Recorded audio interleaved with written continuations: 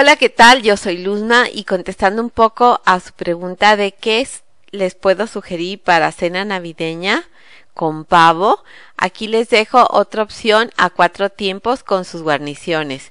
Podemos empezar con una crema de zanahoria con naranja, adornadita con cebollines y poner en la mesa bollitos de mantequilla para acompañarla. De segundo, un bacalao a la vizcaína. Aquí les dejo la receta de las abuelas que queda estupendo.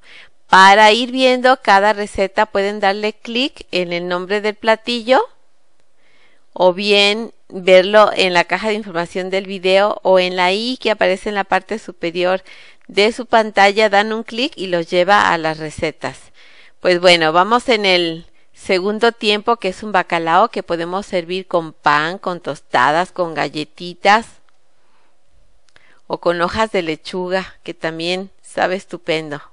De tercero tenemos un pavo cocinado al vino blanco en el horno y relleno de carnes que queda delicioso para chuparse los dedos. Y claro que hay que hacer unas deliciosas guarniciones.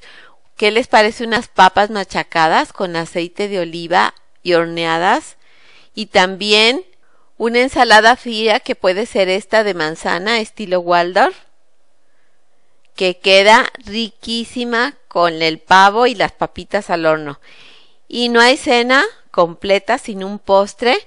Aquí les dejo la receta del tronco navideño, que puede ser las delicias de chicos y grandes en esta cena de Navidad. Y bueno, pues espero que les haya gustado el menú. Si es así, regálenos un me gusta, compártanlo con todo mundo. Los invito a todos a suscribirse al canal si aún no se han suscrito. Y les deseo que pasen una muy feliz Navidad en compañía de todos sus seres queridos. Un abrazo. Bye.